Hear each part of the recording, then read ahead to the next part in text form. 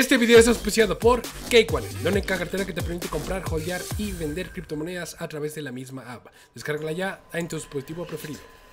Hey, ¿qué onda amigos y amigas? Bienvenidos a un video más de finanzas con yo servidor Aaron Díaz y creo que no hay ningún aviso. El día de hoy voy a estar activando, mañana es 31, el día de mañana vamos a estar eh, reacomodando las membresías nivel 2 ya van a salir un poquitito más baratas, a 100 pesitos nada más. Llévele, llévele. Y con esto lo que vas a recibir, vas a estar en un grupo VIP para hacer preguntas más técnicas si quieres.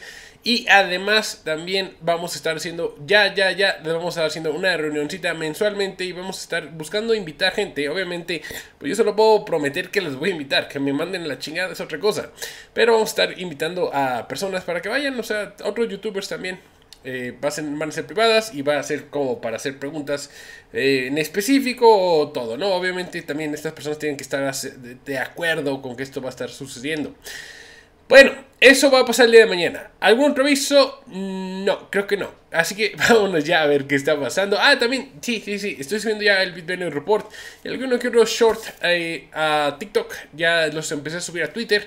Ya me hice élite. Ya, ya, me, ya me pinto las uñas. Ya me puse la palomita azul. Entonces ya me permiten subir más eh, videos. Entonces voy a estar subiendo también en Twitter Shorts o el Bitvenue Report. Por si no me sigues en Twitter, estoy como arroba Aaron, Aaron con doble A. No sé por qué hay personas que escriben Aaron con una A. Nunca en mi vida he conocido a un Aaron que se llame Aaron con A, una A y ya. Siempre son, todos, todos somos igual, todos los Aaron somos iguales con doble A. Pero bueno, es Aaron con doble A. Díaz Chávez, arroba Aaron Díaz Chávez, y ya me puedes encontrar en Twitter si es que quieres estar viendo ahí los videos. Pero bueno, vamos a ver qué está pasando ahora sí en el mercado, porque la cosa se está poniendo cachonda. Y tenemos, tenemos, tenemos, tenemos que el SP500 está subiendo ese punto 15%, Dow Jones menos 0.03, Nasdaq más 0.27, hace ratito están más, más arriba todas. Y es que están saliendo noticias de parte de la Reserva Federal. Bueno, dos gobernadores de la Reserva Federal. Ahorita le vamos a hablar. Déjame hago esto un poquito más sexy. Ahí está. Ya se ve un poquito más la pantalla. Perfecto. Y obviamente, de todas formas, como no le puse, ahí está, ya está, no le había congelado que fuera la web, olvídenlo. Vamos a continuar, tenemos el Russell 2000 cayendo menos 0.32%, y sí, es que salió noticias, salió de unas, unos nuevos discursos que dieron de parte de la Reserva Federal.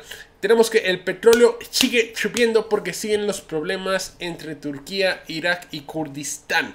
Y es que Irak ganó un eh, arbitraje en el cual le estaba, acusando a Kurdistán de que había enviado petróleo sin haberle perdido permiso a Irak. Eh, porque tienen que pasar el oleoducto a través de ahí. Y eh, eso hizo que pararan cerca de 450 mil barriles de petróleo diariamente estar enviándolos a través de ese oleoducto que van hacia Turquía. Ojo, porque Turquía normalmente se distribuyen a otras partes de Europa. Uf, pobrecitos los europeos. Hoy voy a hablar de algo que se dio que, uff, nadie lo está hablando. Y es que México compró diésel ruso, hablando de energéticos. Aguántense un poquito porque va a estar bueno eso. imagínate eso, que tú, o sea, tú eres el imperio. El imperio más grande del mundo. Uy, el ejército más chingón del planeta Tierra. Y tu vecino del, sur te manda por ¡pum! te batea y compra diésel a Rusia. Cuando tú estabas chi chi con que nadie le compre. Uf, Qué dolor para la hegemonía de Estados Unidos. Vamos a ver cómo está también el oro subiéndose .67% y la plata sube 2.19%. En el caso del euro sube 0.5% frente al dólar y los bonos de gobierno de 10 años se están comprando actualmente a un ritmo de 0.36%. Mientras tanto tenemos que la libra esterlina estaría en estos momentos también subiéndose contra el dólar 0.5% y el yen japonés se sube contra el dólar me parece que sí tengo la nota aquí de Japón. Creo, sí, sí, sí la tengo. Vamos a hablar de eso porque ya va a haber el cambio del presidente de Japón. Y están todos especulando que si el nuevo presidente va a quitar, va a empezar a, dejar que suban las tasas. Ya les habían dicho que no, pero ching, hijo de con Ay, ya, ahora sí. No, no lo van a hacer. Tenemos que el Bitcoin está cayéndose, rompió la barrera que tenía de los 28, o sea, el suelito, y se cayó. Y se encuentra en 27.883 dólares. ¿Qué está pasando? Bien, primero que nada, eh, hace ratito, nada, estaba viendo Sam Backman Frederick West, te dije que el otro día que ya le habían dicho que le iban a imputar un nuevo cargo por haber sobornado a funcionarios chinos. Él se declara nuevamente inocente porque ese señor, ese señor, canta Esas son puras mentiras. Todos los carros que le habían imputado, todos sois inocente. Oye, ¿robaste dinero de los clientes? No, no fui yo, soy inocente. Esa noche yo no estaba ahí. Sí, todo, todo tiene que ser inocente. Obvio, o sea, ¿qué ha pecado en esta vida ese señor, eh? Nada, ese señor es una palomita blanca. Bueno, ¿qué es lo que pasó que está haciendo que se caigan ya los mercados o que empiece a haber debilidad en los mercados? Es que la Reserva Federal anuncia, confirma que van a subir las tasas 0.25%. Y lo dijo la presidenta de la Fed de Boston, Susan Collins, dijo que aumentar las tasas un punto 25% extra sería apropiado. No importa que esté colapsando todo, porque todo el mundo de la Reserva Federal va a imprimir y dice, papi, papi, Tú no te apures, ellos van a seguir imprimiendo dinero. Mira nada más, mira qué chulada, cómo se ve esto. Ay, hermoso. Dije, mira, ¿para qué me preocupo si yo tengo la impresión de dinero? Este, y ya se subieron también las tasas. Recuerda que los únicos que van a estar cayendo van a ser los bancos que ellos quieran que caigan. Y actualmente las tasas, tanto de los bonos de dos años como la de un año, ya no marcan estas tasas, que van a subir hasta el 5. Recuerda que la de dos años, que es generalmente la que sigue la Reserva Federal, subió hasta 5.05 más o menos y de ahí se colapsó. No aguantó ni una semana. Y le van a subir por primera vez arriba del 5%. Vamos a ver cuánto aguanta la economía, porque ahí nos indicaban los bonos que ya no aguantó. Ya no, se empezó a colapsar todo. Y ahorita siguen más abajo, están como a 4%, 4.1 más o menos. Ya no están volviendo a subir. ¿Y esto qué significa? Que posiblemente esta sea la última subida. Y de aquí, recesión. Ojo con eso. Bueno, continuando, ¿qué es lo que tenemos el día de hoy? Tenemos que el VIX, ya todo el mundo está tranquilo, ya pensando que no hay más problema con el sistema bancario. Sí lo hay. Recuerda que el problema es fundamental de, ya que dicen que el VIX como se movió abajo de 20 puntos, esto significa que está más tranquilo el ambiente, no hay tanta volatilidad. También en el mundo de las acciones hoy se dispara Intel ya casi un 10% porque están diciendo que van a sacar nuevos CPUs. Y por último, el número de personas que piden ayuda por desempleo subieron 198 mil personas. Que de derecho sería este, subió de 191 mil a 198 mil. O sea, hay 7 mil personas extras allá afuera pidiendo ayuda porque no tienen nada que comer y mientras la Reserva Federal está bailando, ¡uh! ¿Se están muriendo de hambre? ¡Sí! Eso es lo que necesita la Reserva Federal, que la gente se muera de hambre para que no gasten, si no gastan se baja la inflación. Y ellos pueden decir, ah, mira, la tiramos, destruimos la demanda. No es broma, eso es lo que está haciendo la Reserva Federal, buscando que la gente se quede sin empleo. Pero también al final le están pidiendo ayuda por desempleo. Van a seguir ganando dinero. Bueno, quizás no se mueran de hambre, nada más. Y el número de eh, ayudas continuas sigue al alza, lo cual nos está indicando que ya afuera se está poniendo un poquito más feo, porque hay más personas que no tienen que comer o necesitan ayuda, necesitan, estar recibiendo ayuda de parte del gobierno porque no encuentran empleo. Las, ganancias de las corporaciones se cayeron 2.7% en el revisado. Hoy, el día de hoy también se revisan a la baja tanto las ganancias de las corporaciones privadas como también de la, el crecimiento del Producto Bruto en el último trimestre de Estados Unidos. Y también si eres de México te va a interesar porque el día de hoy el Banjico, el banco que es independiente de México pero muy dependiente de Estados Unidos, va a dar su nueva subida de tasas y lo más probable es que lo vaya a subir 0.25%. O sea, o sea, ¿qué haces un show? Nada más digo, güey, le voy a subir punto 5. Ya, ok. Ya, lo sabíamos, ya. ¿Para qué haces de pedo? Pues ya sabemos. Bueno, está bien subiendo punto 25. Aquí también lo importante es que se va a dar el nuevo índice fiscal, el nuevo pues sí, índice fiscal, la nueva balanza fiscal. Estaremos viendo cómo está aquí en México, que se está buscando a toda costa ya cerrarla, porque actualmente se encuentra en un déficit eso es muy malo, sí, porque significa que para el gobierno, para que funcione, tiene que estar imprimiendo dinero, lo cual nadie quiere porque entonces el peso se devalúa. Bueno, vamos a continuar. Tenemos que la FDIC está buscando que los bancos más grandes sean los que saquen y rompan el cochinito para estar pagando esos 23 mil millones de dólares que le costó salvar a los bancos que se fueron a la quiebra, los bancos como Silicon Valley Bank y Signature Bank. ¿Te acuerdas que te dije que le pagaron a los de First Citizens de cerca de 16.500 millones de dólares para que se atrevieran, animándole, anímate, llévate, oye, está en, está, que está en quiebra, no hay pedo, mira, mira, no vas a correr riesgo, Mira, yo te voy a dar el 20% de descuento. Eso significa que cuando te terminen de pagar todas las deudas, vas a recibirte casi 20 mil millones de dólares extra. ¡Anímate! O sea, ya no solamente es un bailout, es un bailout y te pago un extra porque soy bien buena onda. Al final y al cabo lo van a pagar los, estadounidenses, así que vale madre. Sí, es básicamente lo que hicieron. Pero está diciendo que ahora que lo paguen, los bancos no sé cómo lo van a tomar. Y además eso ah, cuestiona otra pregunta, hace otra pregunta. ¿Qué va a pasar cuando 18 ellos dijeron que iban a cubrir los 18 billones de dólares de los depositantes? ¿Quién lo va a pagar? Porque no existe el dinero. ¿Quién? Uh, de nuevo los estadounidenses a través de la inflación. Y si tú pensabas que ya ahora sí se estaba yendo todo el tema de la crisis bancaria, piénsalo de nuevo dos veces, porque Morgan Stanley ya les había comentado Bloomberg nos dejó ver que están intentando quebrar a Charles Schwab. Se los dije. Ahora Morgan Stanley está diciendo, ay no, le rebajó la calificación a Charles Schwab. Es que tienen demasiada deuda a largo plazo es que es demasiado peligroso. Deuda a largo plazo significa de 10 años, o sea, bonos de 10 años.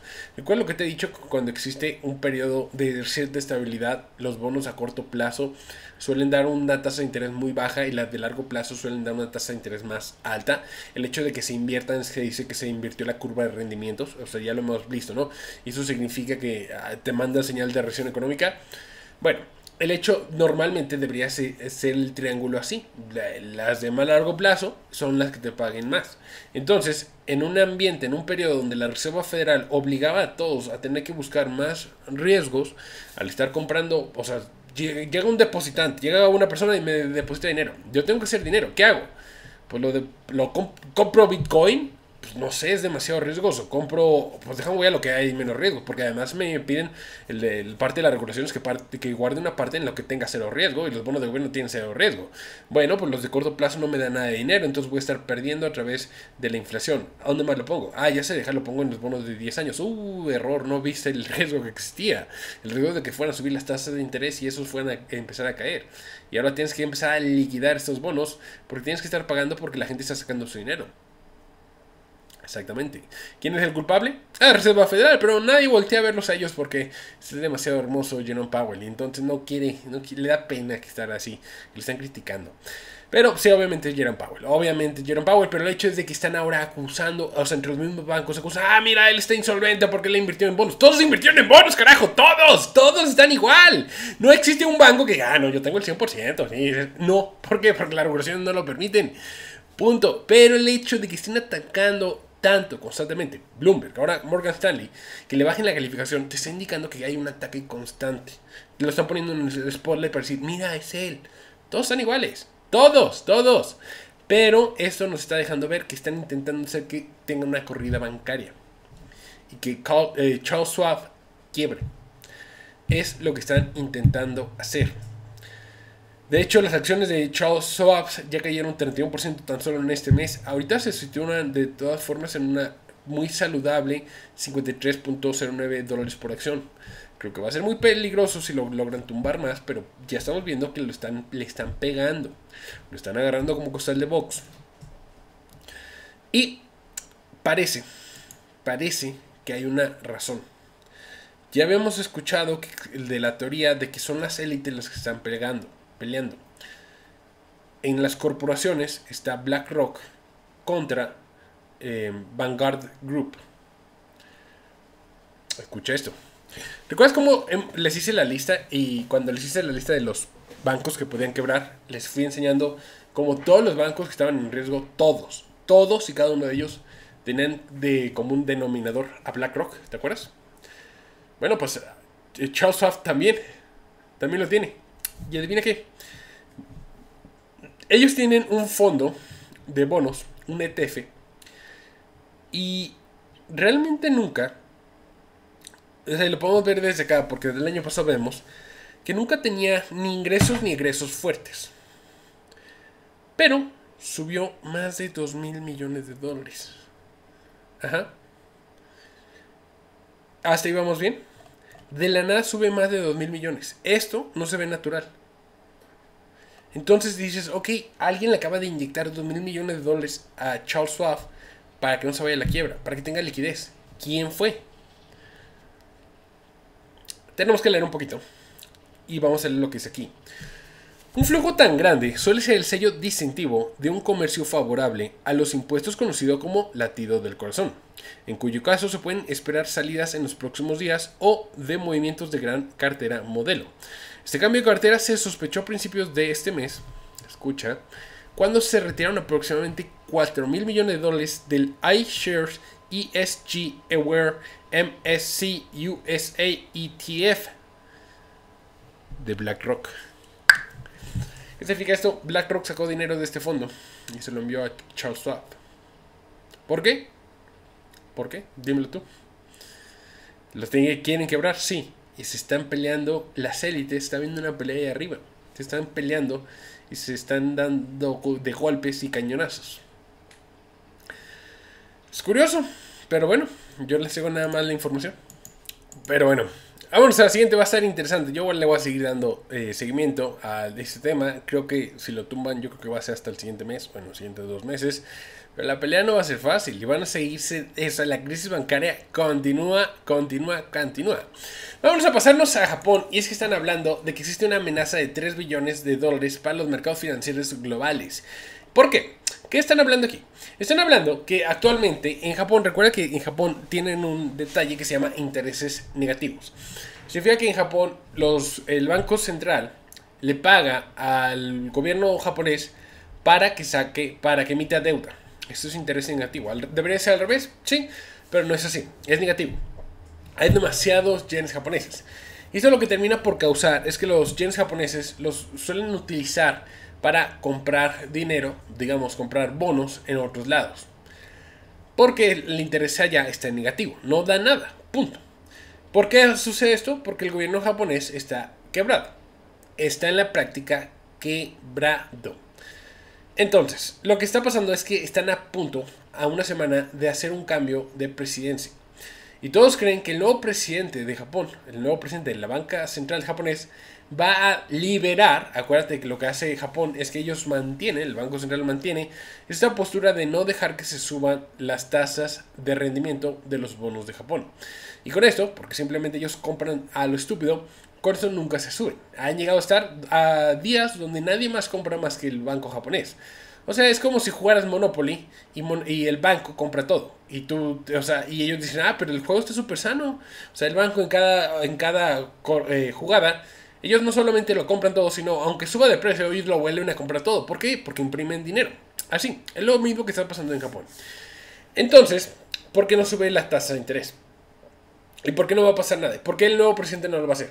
Te voy a explicar cuál es el temor también de que lo suban, por eso dicen que es un riesgo. El temor de que lo suban es que los japoneses van a ver que dentro de Japón ya pagan mayor tasa de interés. Entonces, ¿para qué te quedas afuera?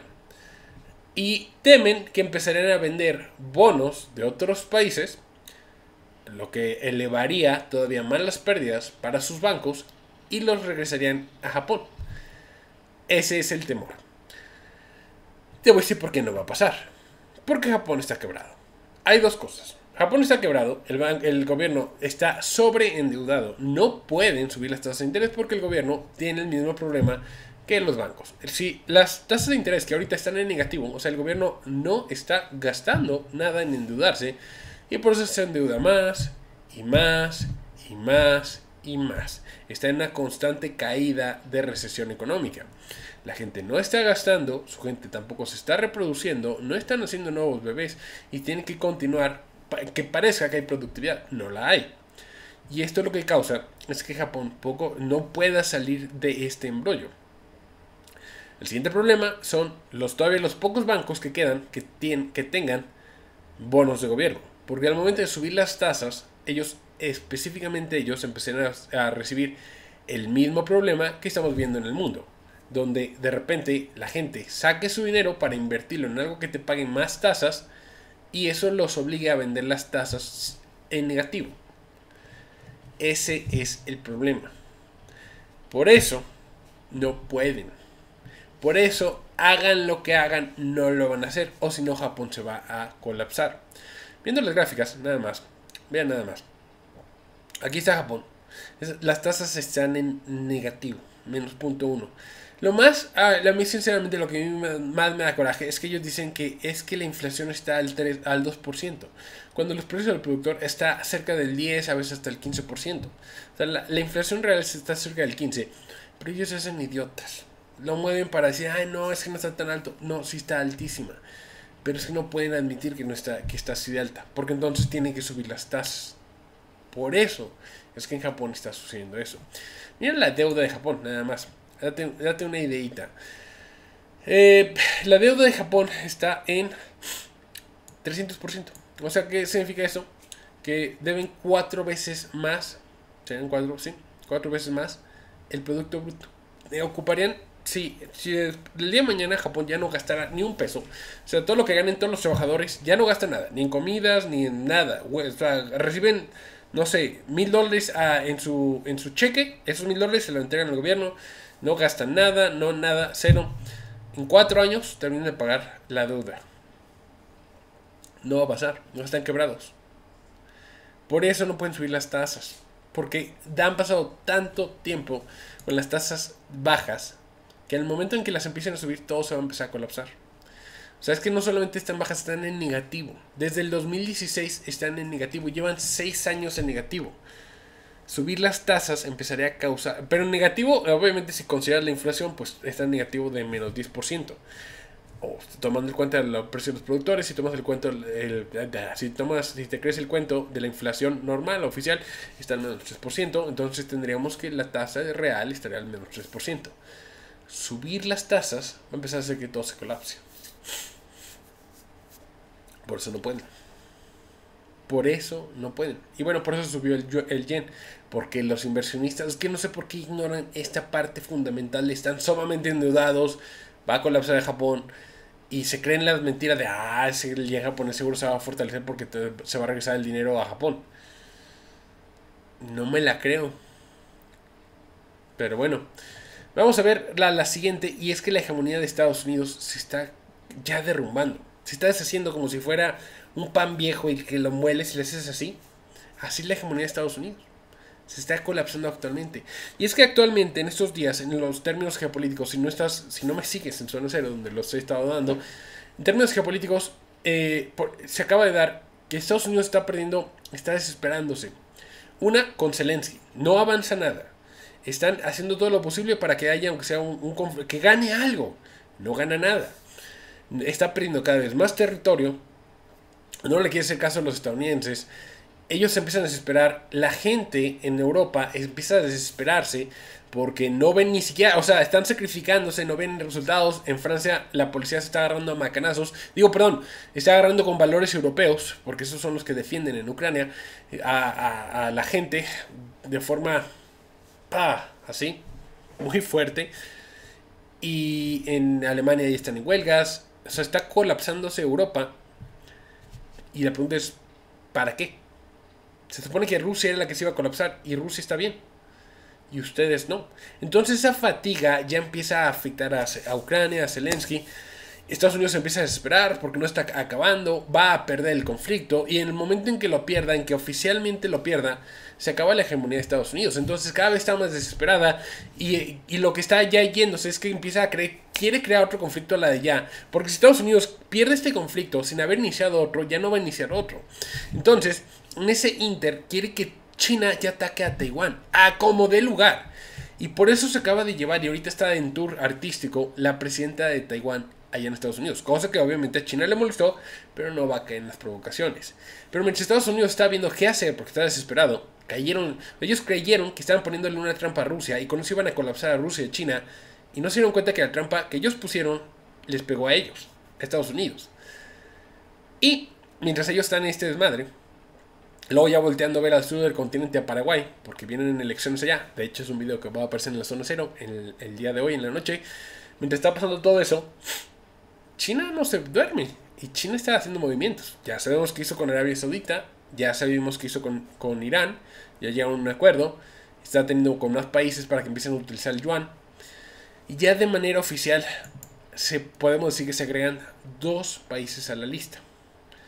Brasil, que ya acaba de decir, Simón, voy a estar comprando a China solamente con yuanes. Y eh, básicamente cómo va a funcionar es que Brasil va a estar comprando con real brasileño, se va a hacer el intercambio, y para los chinos van a llegar yuanes. Y cuando China quiera algo de Brasil, ese yuan se va a transformar en real brasileño y a los brasileños les va a llegar reales. Esto lo que hace es, si te diste cuenta, desaparecer al dólar, quitarlo de la jugada. En el otro caso, se trata de Francia. Es que Francia, por primera vez, acaba de comprar 65 mil toneladas de gas líquido a China y lo pagó con yuanes. Exactamente. Y tú te vas a apuntar, Aarón, pero tú habías dicho que, eh, que el yuan chino no iba a ser moneda de reserva global. Y lo sigo insistiendo. El yuan chino ahorita se está transformando, se está comportando como una stablecoin. Porque China mantiene un precio estable a su yuan. Entonces, ¿eso qué significa? Que toman como referencia aún así el dólar. Los precios siguen estando en dólares y como la moneda del yuan se mantiene estable, pues no hay tanto problema. Pero si lo que sí va a empezar a causar es que se empiece a desmoronar el dólar, porque ya no lo están usando, ya no lo necesitan y ya no lo van a estar comprando. Y esos dólares sí van a volver a los Estados Unidos y sí les va a crear una hiperinflación. Ahora entonces, ¿qué va a pasar? Se van a empezar a disparar los precios. Ahí es donde yo creo que China va a cambiarse al patrón oro o al patrón petróleo. Alguna de las dos, algo tiene que suceder ahí. Pero China no va a permitir que el yuan sea moneda de reserva. Te voy a enseñar una gráfica para que veas que no es simplemente ideología. Mira, te lo puse en mensual para que se te haga más fácil. Esto es el yuan chino y lo estamos viendo desde el año 2013. Realmente cada vez que el yuan ha estado alto, China lo desmorona. Lo baja contra el dólar. Y esto que esto es el offshore, ni siquiera es el, oficial porque el oficial no se mueve. Ese es el offshore. Cuando el offshore, o sea, el que está fuera de China, el que se puede comprar en la, en, casi iba a decir en las tienditas, no, pero en las casas de cambio el que no puede realmente controlar China. Cuando realmente empieza a haber alguna disrupción, China lo que hace es inyectar muchos dólares ah, para comprar yuanes offshore y así bajar el, costo. O subirlo, dependiendo de cómo, qué es lo que quiera hacer. Cada vez que el yuan chino empieza a ganarle terreno al dólar, China lo tumba. Te lo voy a poner así a ver si no lo viste. Ahí se está cayendo y todo va bien. El yuan chino empieza a subir de valor, lo tumba China. Empieza a subir de valor, lo tumba China. Empieza a subir de valor, lo tumba China.